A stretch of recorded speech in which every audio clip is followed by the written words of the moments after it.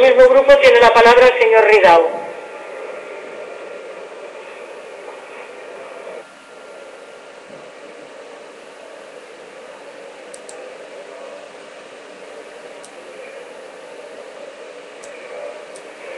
Muchas gracias, señora presidenta. Señoría, señor ministro, uno de los dogmas Señorías, por favor, no me obliguen a repetir una vez más el tema de las conversaciones.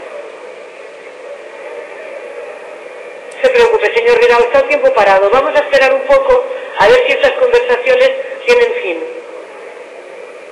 Señorías, por favor, no me obliguen a decir los nombres de los que no están atendiendo a la recomendación de que el orador pueda hacer uso de la palabra.